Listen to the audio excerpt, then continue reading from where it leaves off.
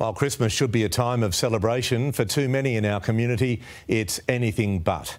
Charities say they are busier now than during COVID as cost of living pressures push more Australians into poverty.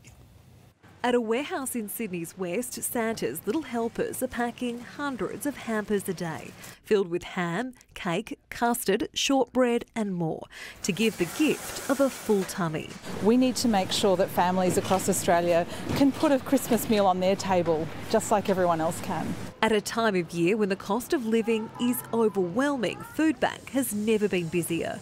This festive season, it'll feed a million Aussies. Adding to the demand, the many families displaced by floods, with the warehouse now operating on weekends, so no one goes without. As many of us tighten our belts, much needed donations have also dropped off. But here at Foodbank, a little goes a long way. Every dollar donated is two meals created, so it's a powerful and compelling way to really help those in your community. In Brisbane, the team at the Good Box are also busy packing Christmas hampers. They're loaded with essential items plus a few treats and delivered to those experiencing homelessness.